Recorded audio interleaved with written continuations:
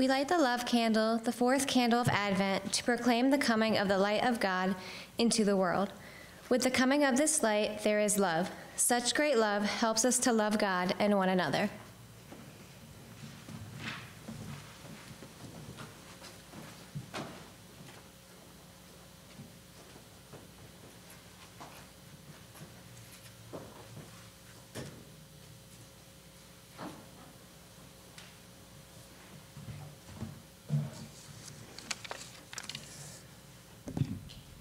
The scripture reading is from Matthew chapter 2, verses 1 through 12. In the time of King Herod, after Jesus was born in Bethlehem of Judea, wise men from the east came to Jerusalem, asking, Where is the child who has been born king of, Jew- king of the Jews?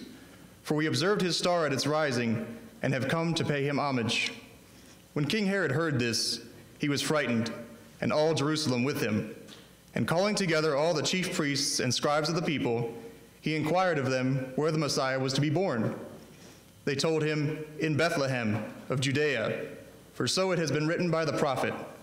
And you, Bethlehem, in the land of Judah, are by no means least among the rulers of Judah, for from you shall come a ruler who is to shepherd my people of Israel. Then Herod secretly called for the wise men and learned from them the exact time when the star had appeared.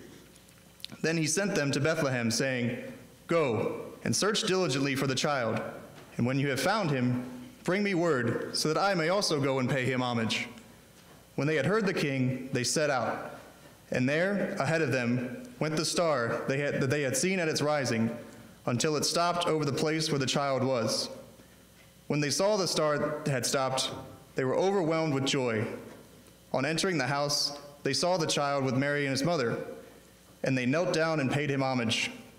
Then, opening their treasure chests, they offered him gifts of gold, frankincense, and myrrh.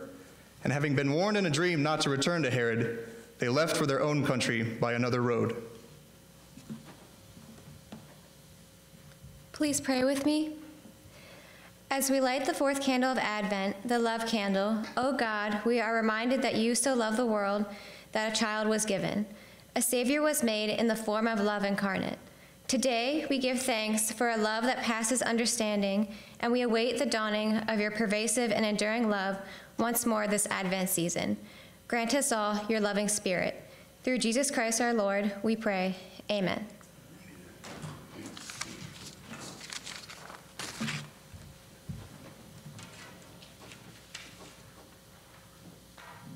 Once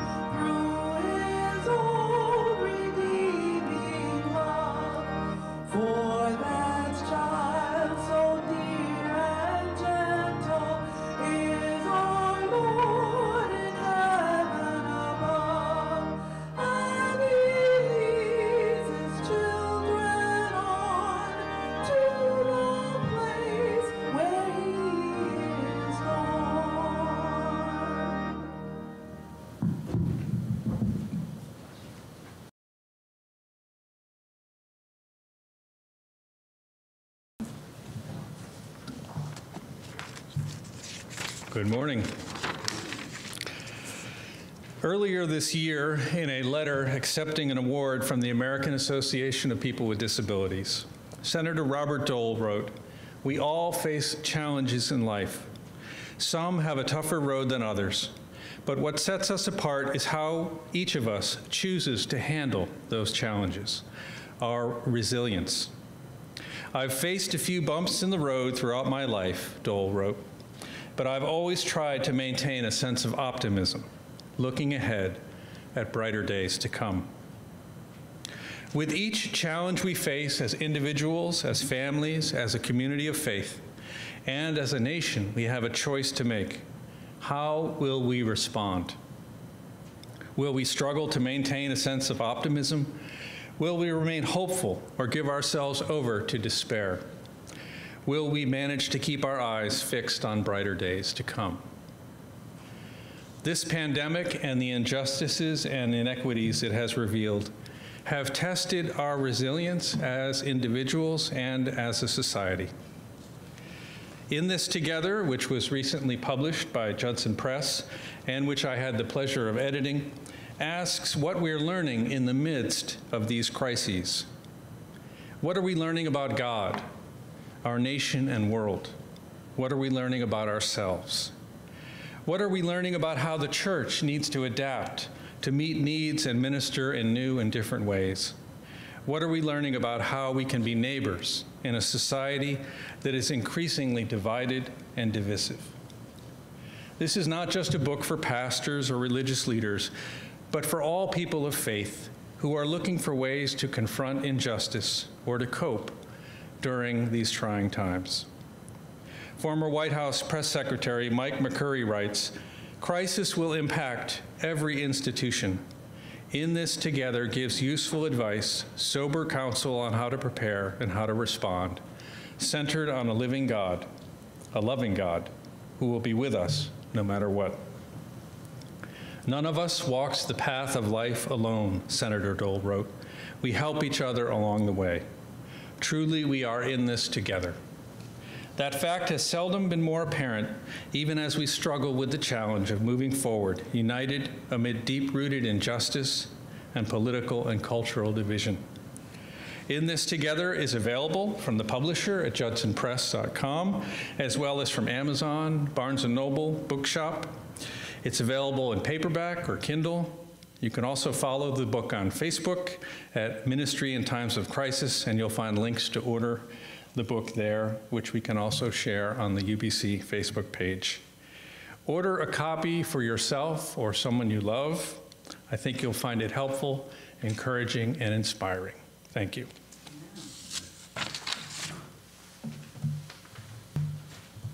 Thank you, Curtis. Beautiful.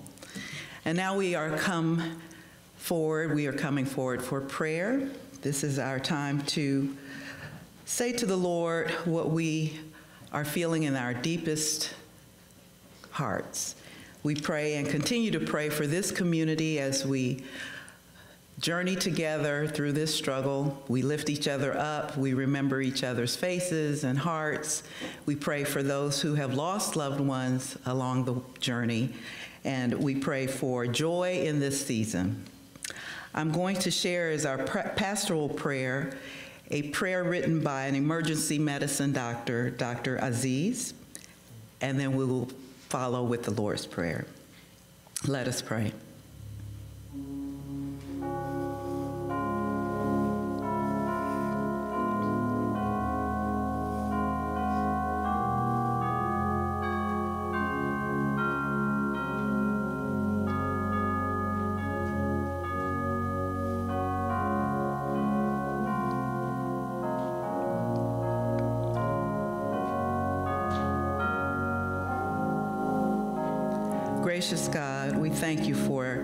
This opportunity to lift our hearts together in your light. We thank you for this Christmas season. It's different, but we know that you are not different. You are the same yesterday, today, and forevermore. Lift our hearts as we lift our hearts to you. Give us courage for these days. Give us strength and compassion. And now hear the prayer from your servant, emergency medicine doctor, Dr. Aziz. May God, the most compassionate, the most merciful, the healer, cure the ill, give comfort to those suffering and in pain, and lift this pandemic from our lives. May we take this pandemic as a lesson to return back to our Creator and recognize the true purpose of our existence. May we be more caring and loving, more equitable in our dealings with others, more valuing of the relationships we have, and more attentive for the world we live in. In Jesus Christ I pray. Amen. And now we pray together the prayer that Jesus taught us to pray, saying, Our Father, art in heaven, hallowed be thy name. Thy kingdom come, thy will be done, on earth as it is in heaven. Give us this day our daily bread, and forgive us our trespasses, as we give, forgive those who trespass against us. And lead us not into temptation, but deliver us from evil. For thine is the kingdom, and the power, and the glory, forever and ever. Amen.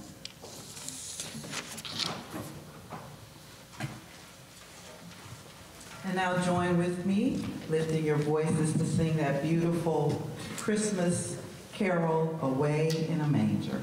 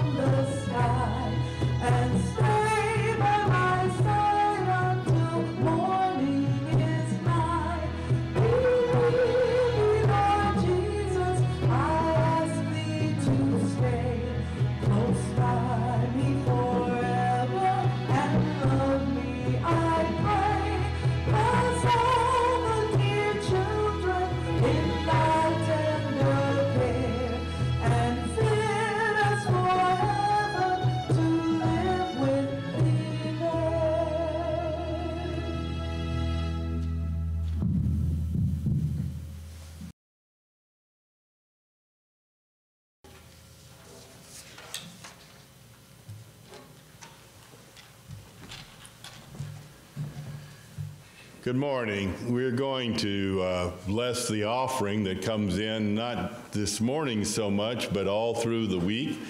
Some of you contribute to the work of the church uh, digitally, online, through the various platforms. Others of you mail in your contribution, and some of you actually drop them off here at the church. No matter how you get it here, we are grateful, and we continue to use them as our plan guides us in the church budget and as the Spirit guides us as leaders in the church. A couple of announcements before I pray. Uh, today, after this service, I, I don't know right away, Curtis, is the children's pageant going to be up right away? or Yeah. So just following this worship service, you can look on our website and you can watch the children's Christmas pageant. Uh, it's a short presentation that they did on Zoom, and we thank Curtis and Carol and others for uh, helping with that. But make sure you see that sometime during the Christmas season. We'll also on tomorrow be posting several new Christmas Bible studies. There's one up, but there'll be two or three posted, and we encourage you to look at those through this season, either before Christmas or after Christmas as well.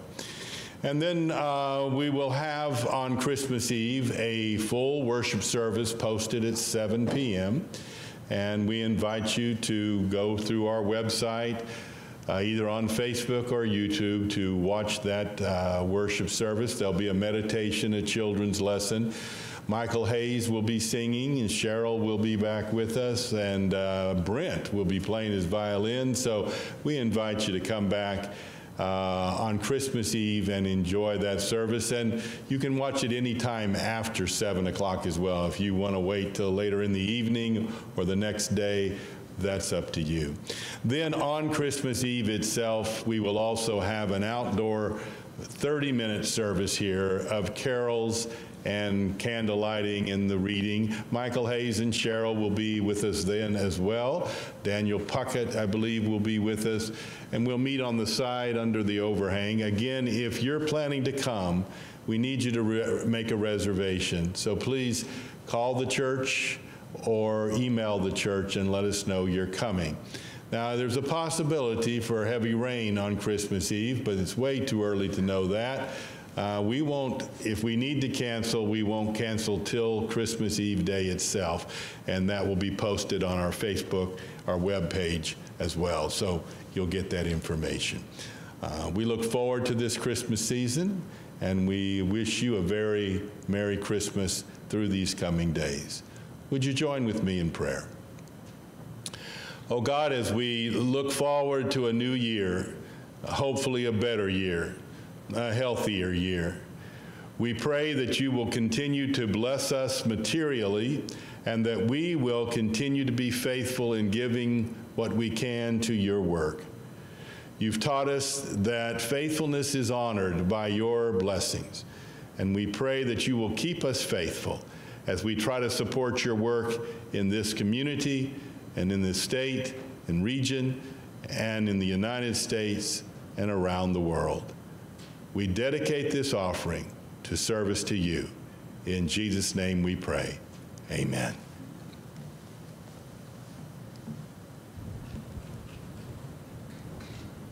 Good morning, children. This is uh, time for the children's lesson.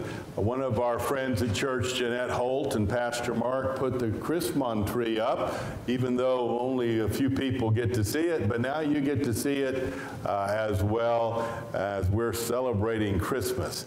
And today we're looking at a story that we always think happened on Christmas Eve because all the nativity scenes have these guys there. But we know from the study of uh, history that, in fact, the wise men, uh, they did not arrive in Bethlehem for a few days. In fact, the traditional date for them to arrive is on January 6th. And some countries do not, uh, Christians in some countries don't give presents on Christmas Eve or Christmas Day. They go to church and they light candles and they sing Christmas carols and they celebrate Jesus' birth, but they don't exchange gifts till January 6th. And the reason they do that is because the reason we give gifts is based in this story of the three wise men that visited the manger and brought gifts for Jesus. I imagine you know that story. Well, they brought three gifts. There may have been lots of wise men, but they brought three gifts. They brought gold. Now, did you know there's probably gold in your house right now? Go to your parents and look at their ring and see if they're wearing a wedding ring and it's probably made of gold. This is gold right here. I brought some in here on my finger because I'm married to Karen. The second thing they brought was frankincense. This is not frankincense, but it is an incense, it's a perfume. And that's what frankincense was. It was a sweet smelling perfume uh, that they used in many, many ways to make rooms smell better. And then the third thing was myrrh, and this also is not myrrh. But myrrh was used as a healing ointment and also was used in burials, frankly. And this is a healing ointment. And so they brought to Jesus three very highly valued presents gold, frankincense, and myrrh. And because of that gift giving, we now give gifts on Christmas Eve. And I'll bet you're happy that we do that. But I want you to think about the original uh, story here of these wise men coming from a long way away and traveling, following the star, and making it to Bethlehem.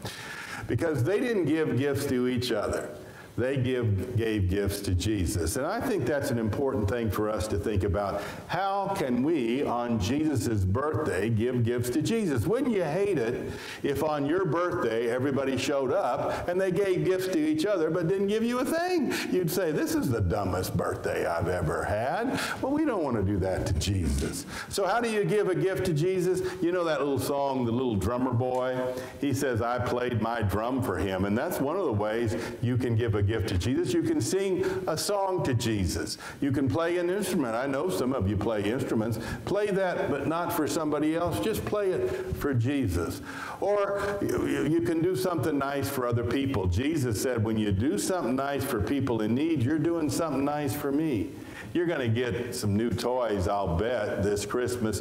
What about taking some of those that aren't too worn out, but you don't need them all? You don't have room for them all, and give them to somebody who doesn't have hardly any store, any toys. Your parents can help you find that, or maybe some clothing you can give to somebody, or maybe you can uh, send a card to a grandparent. Wouldn't that be nice? Make them a picture and send that. That would make them so happy, and it'd be a gift to Jesus in that way. Or some of you have that phone that you can FaceTime with people you love and do that as a gift. Don't run away when mom says, hey, grandma's on, run to the phone and talk to grandma and give her a gift. And that's the same as giving a gift to Jesus.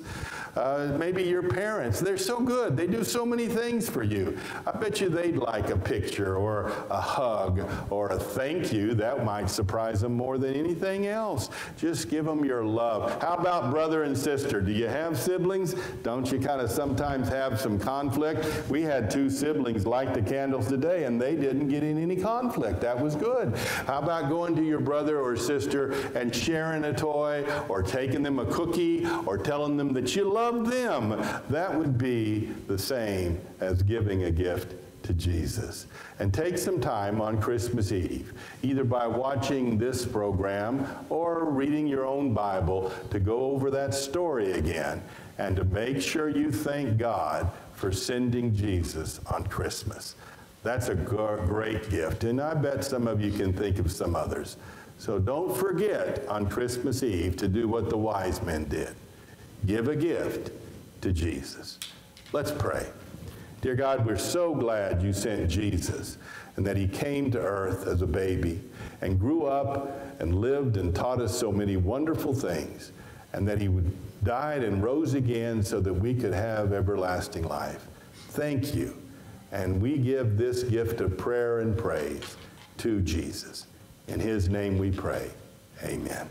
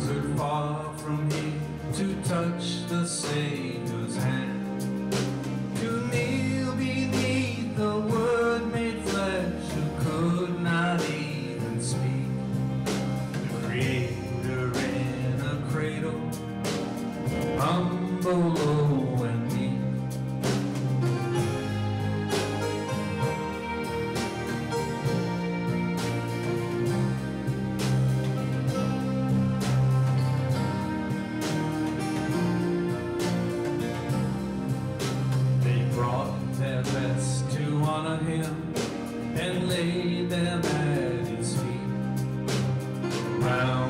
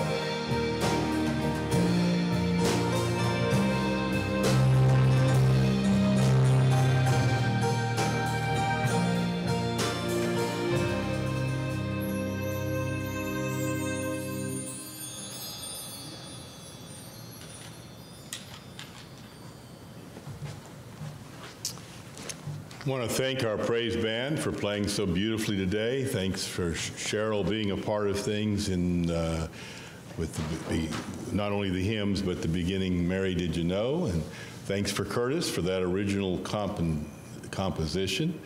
And I also want to take personal privilege to thank my mom. She gave uh, one of these poinsettias today in honor of our church. She's worshiping with us. I don't know which one she gave. She gave the prettiest one. Just look at whatever you think's the prettiest. That's the one that came from her. In his best-selling novel In the Heart of the Sea, Nathaniel Philbrick wrote about Nantucket boys in the year 1819 who aspired for nothing more than to go out on the high seas on a whaling ship seeking the great sperm whales and their very valuable oil. I read that book and I kept wondering it's a true story. What would have made any young man want to get on a whaling boat? The fatality rate on whaling boats was extraordinary high. Hardly ever did a crew all go out and all come back alive. When you chased a whale, it was the most terrifying thing I've ever read about. They harpoon them, and the whale takes them on what they called a Nantucket sleigh ride, and it goes faster than any boat could possibly have gone. And most of the time, the whale gets off, and if he doesn't get off, sometimes they get battered. It's just frightening. What makes us want to leave home for something like that? And yet these young men did. They, they, they were honored to be chosen and employed to get on the ship. They left, a lot of them left uh, wives and children and prospects at home and went out on the high seas. In this particular story, they boarded a ship called the Essex. And the Essex uh, went out at sea and went down the eastern coast of the United States and then on down through Central America and then into the doldrums and then down through South America and then crossed under Cape Horn and came up the western coast of South America till they reached Panama. And in their journey, they were able to kill several whales, but not nearly enough to fill the huge vats that had to be filled before they could return home. By the time they reached Panama on the west coast, uh, they had been at sea 18 months. And the young men who were so eager to go out and have an adventure and a new experience and achieve something, they were now wanting to go home. They missed their homes. And they began to talk of taking the ship home. And that's when uh, Captain George Pollard said, No, we're not going home. We got to get more oil. And he directed and commanded the boat out into the middle of the Pacific. They went to where they were equidist- equidistant from Panama and the Malayan Peninsula, out as far from ashore as anybody could possibly get on this planet. And they ran into the whales. And they chased uh, on this one particular day. They dropped two of the whaling boats and went in pursuit of two whales, and a third of the crew stayed on the Essex. And that's when something they had never seen before and has never happened since occurred. A whale they did not see, 90 feet in length, a huge, enormous sperm whale, came right at the starboard uh, side of the boat. No one understood why. He smashed into the starboard side of the boat and left a huge gash on that side, then dove underneath the boat, taking off the rudder of the boat, and came up on the port side of the boat. For a minute, he swam along parallel with the boat, and one of the harpoonists who was on, he contemplated throwing the harpoon at this enormous behemoth, but he thought if I do, he'll bring his tail around and smash that side of the boat, and we'll be lost for sure.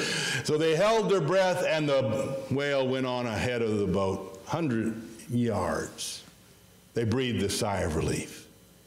But then, what no man had ever seen since, and no man had ever seen up to that point, never has occurred in the history of whaling. That whale turned around and, for reasons never understood, began to swim straight at the bow of the Essex and smashed into it at full speed, obliterating the front of the boat, and then turned and went off to sea, and no one ever saw that particular whale again. Within minutes, they had lowered the last whaling boat off the ship, and the crew got on there, and as they turned, they watched the ship sink into the sea. Most of them died at sea. Three of them were able to make it to a deserted island. And though there was no food there, they were somehow able to survive until one day they saw a ship out on the horizon. And they began to scream with all their might. They were emaciated. They were barely more than skin and bones. But the ship knew they were there and came. And when they got close, it uh, sent a little boat toward the sea. And the, the waves were too rough, and the, the boat couldn't get to the island. And the three young men on that island were crying out, We want to go home.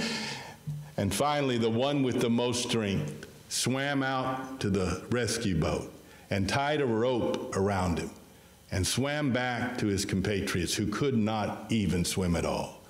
And he took one to the boat, and then he came back again and took the other to the boat. And they all got back to Nantucket. But the day they arrived, 1,500 people came out on the wharf. And when the three men got off the boat, not a word was said. They parted in silence and grief to let the three young men go back to their home. And what they found was nothing felt like home ever again. Most of the boys literally didn't get back home. But the three who made it never felt they were at home quite again. We've been on a journey this Advent and the journey we have called Bethlehem Bound as we head in a spiritual way to Bethlehem. And as our guide, we've been using a spiritual. Swing low, sweet chariot. First Sunday, we used that phrase, swing low, sweet chariot. And then last Sunday, we, we went, a band of angels coming after me. And this week, I want to draw that phrase that is most repeated from the song. It's repeated every time. Swing low, sweet chariot. You know the next line? Coming for to carry me home.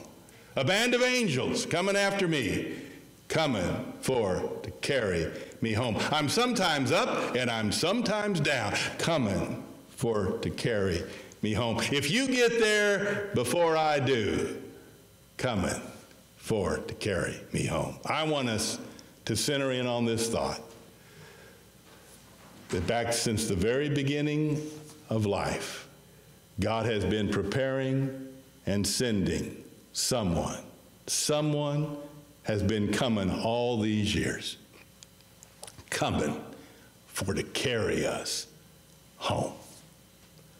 Look at these wise men. You know, in, in all the nativity creche sets, the, in all the movies, the wise men always look old, don't they? They got those long beards and the gray hair, and they got kind of a weird look in their eyes like they're not quite there. But, but that's not who would have come to visit Jesus. You see, that age of man would not have made the trip from Persia to Jerusalem. No, no, that's not who came. The, the wise men, I think it's a good term for them. They might have been astrologers. What they really were were the scholars of their age age. They lived in Persia, which is one of the scholastic centers, and it was a pre scientific age, but they studied what they thought were signs that guided them along the way. And the primary sign that guided them on world events and nature and, and weather uh, were the stars. They studied the stars. But they also had a huge library. We know that from history. Uh, they had all the world's great books that were in print. They had scrolls and copies. They had the Hebrew scriptures in Persia. And they read those and studied those. They became experts, experts on all the knowledge of the age.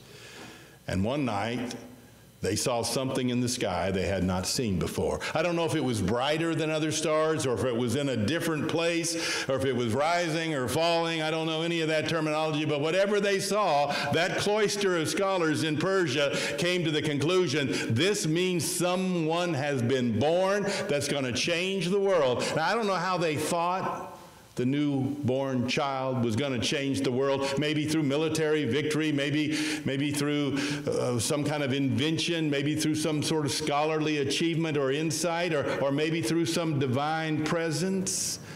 But they were convinced there is one born that we need to see. Now, the old men, they didn't want to go on the journey. You know they didn't. Well, I get done. They're not going to go all that way. Too old. But the young men, they wanted to leave home. Why is it? I don't know. I don't know why it is. Why is it we always want to leave home? We always have a restless nature to go out and see something, experiment something, uh, uh, find something, uh, be on the far shore. Uh, these younger wise men said, We'll go. We'll go check this thing out.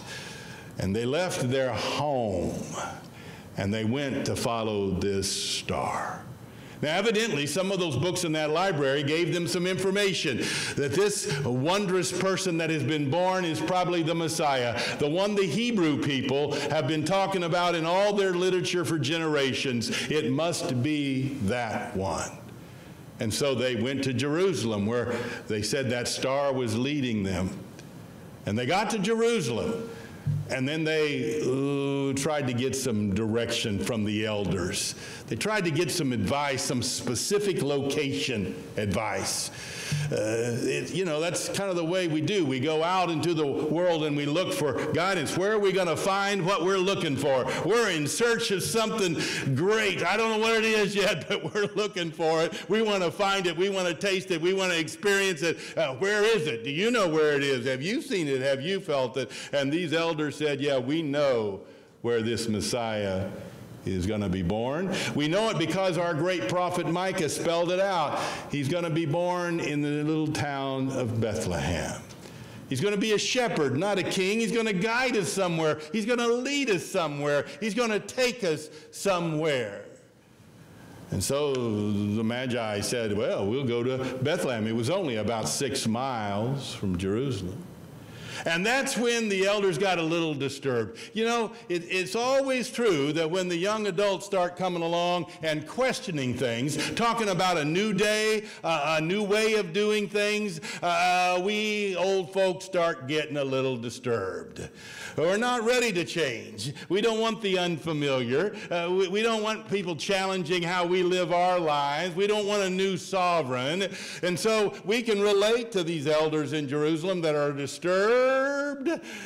Uh, and the more you have invested in the current system, the more you're entrenched in what's now, the more likely you are to fight what's coming. Isn't that right? The more likely you're not ready to, to move into some new sovereign leadership, some new world. I say this on more than one occasion. I've said it to you before. I made it up, so I take full ownership for it. And I say it partially facetiously, but partially I say it very seriously. I tell my children, it is your world, it's your job to build a world that I don't want to live in, to make my own death easier. And they are hard at work at it. They are building a world that is foreign to me. You know, I used to watch the Grammy Awards, and I knew every artist on it, everybody. I knew the songs, I could sing along. And then there was a phase where I'd watch the Grammys, and I, I would recognize the names of the people. I had heard them, but I didn't know any of their songs. I didn't know any of that. Now I look at the lineup, I don't recognize a single person. I don't know who any of these people are. I, I look at the list for uh, Stephen Colbert and those late night guys, Conan, and I look, who's going to be on tonight? Yeah, I don't know those people. I never met those people, never heard of those people. Ah, a new world's coming, and it's being created so that I'll be uncomfortable, so that I can go to Jesus with a smile on my face that I'm going to leave this to somebody else to figure out. That is the way a new world comes. But if you're really entrenched in it, you don't want that to come. And there's one guy in this old story that's deeply rooted in the way things are. He does not want to hear about a Messiah coming. And that's old Herod. Herod says he's just really disturbed. He's in a mess. And when he got in a mess, all Jerusalem got scared because he was the most corrupt leader that Israel had ever seen. A horrible man who would do anything to stay in power. He, killed his own family members at times. Anybody he thought was a rival, he'd kill him. And remember what he's going to do next. He's going to kill every child under the age of two in Israel just to hang on to his power. What an awful situation. Wrecking the whole place just to hang on.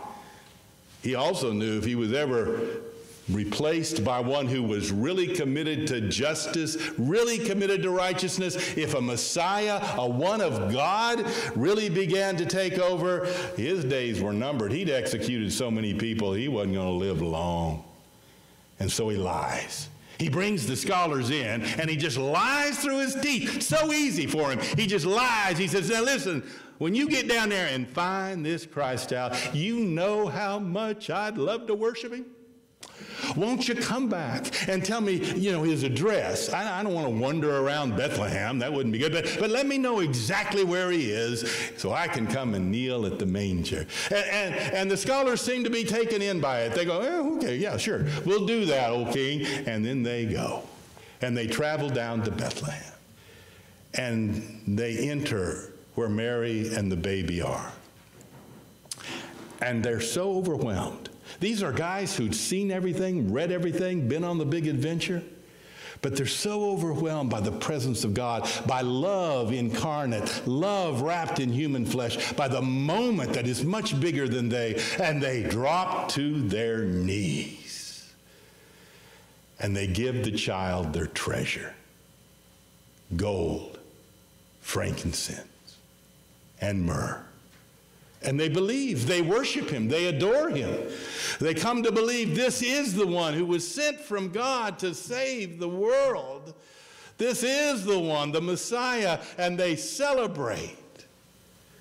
And then they get up and they take this newfound faith with them and they go on back home. But they don't go home the same way they came. They have to go home differently. They go home a different way. And we believe they took that faith back them. Eusebius, the great Greek historian, says that when Thomas and Bartholomew, the two apostles of Jesus, made it to Persia and then on to India, in Persia they found a Christian community. And Eusebius says it had to have been started by these wise men who brought the faith back to their home with them, changed people, went home differently. I really see this journey of the Magi as so typical of the way we go. You know, we get to an age where we just can't stay home. We're bored at home. We're restless. Got to do something else, see something else. We don't want mom and dad telling us what to do anymore. We don't want to follow those traditions. We don't want to go to church on Sunday. We don't want to have to sit at the table. We don't want to do any of that stuff anymore. We want to go out on our own investigation. And we do.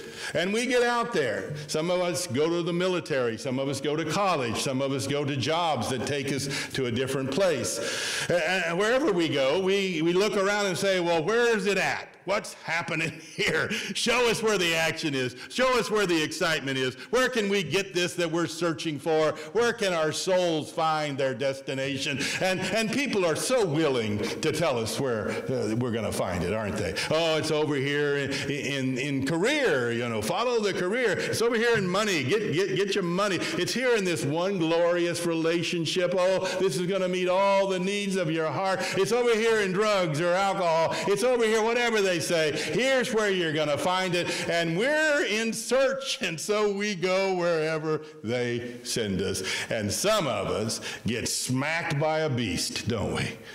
We don't even see it coming. Mm, The old whale blows us out of the water. It can be a relationship that we want, but they don't want us. Or it can be a relationship that they want, but we don't want. And we don't know exactly how to end it. Or we can get involved in academics and fail and fall out and get embarrassed. Or we can get sick. Or we can have an accident. Or we can do something really bad to somebody else that we regret. We can commit a crime. We can get addicted. We can get all knocked out of the water looking for things in all the wrong places. There's a thousand lonely ways to go in our search for home.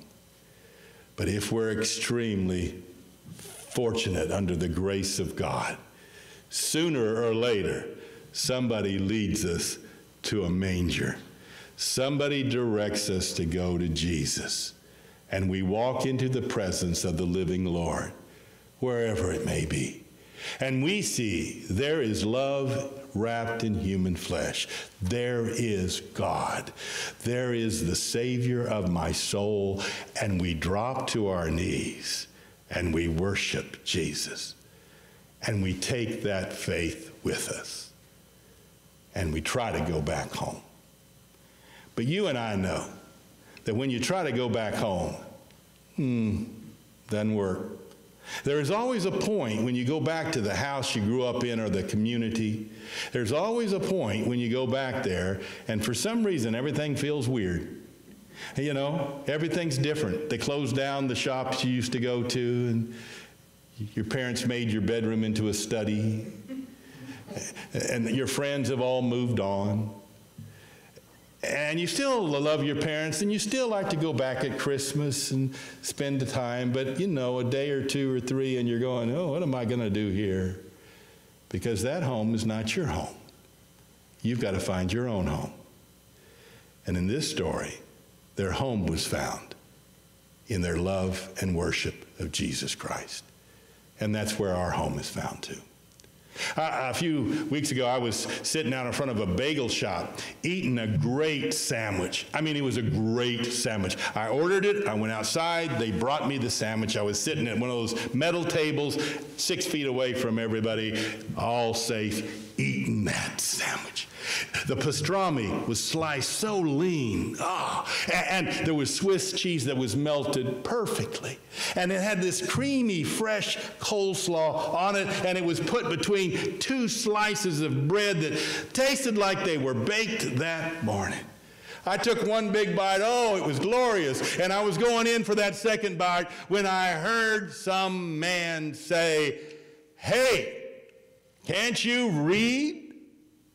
And I looked up, and there was a very large man standing beside a teenage girl, and the door to the bagel shop was closing in his face. He went to the door and he opened it up and he said, Hey, glasses, hey, lady in glasses, is it that you can't read or you can't count? And I thought, uh oh, here we go.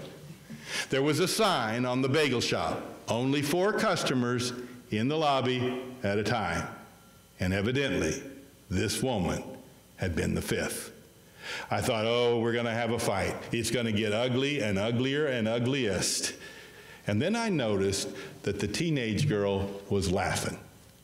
And I noticed that the big man was grinning. And then I noticed that a woman came back out of the bagel shop and she was laughing. And she started doing this number on the man's ribs.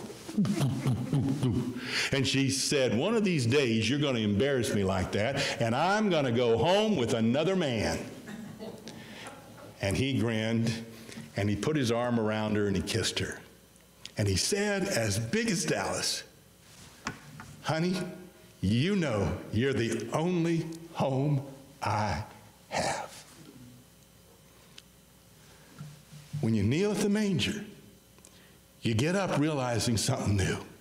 It's not a place, it's not even a person, it's relationship with Jesus Christ. That's the only home we have. And God has been coming to carry us home for all time. I hope you'll come home to Christ this Christmas. Just kneel at the manger, confess your love for Christ, adore him, and take him home or wherever you may go. In Jesus' name, amen.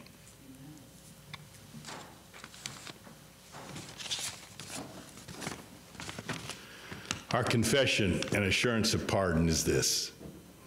Gracious God, we confess that we have looked for our home in many places that turned out to be hostile, empty, or unhealthy.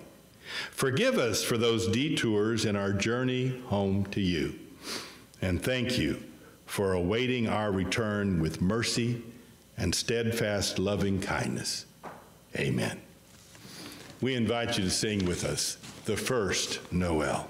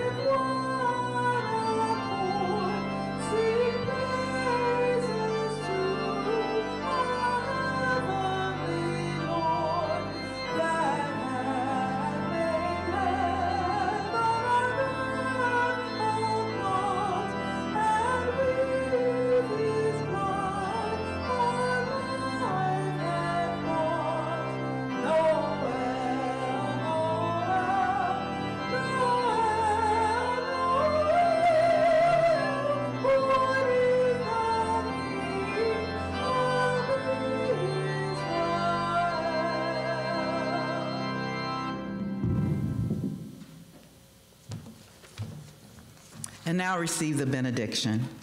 As we go back into the challenges and blessings of our daily life, let us remember that regardless of where we go, Our home is always found with God. Amen.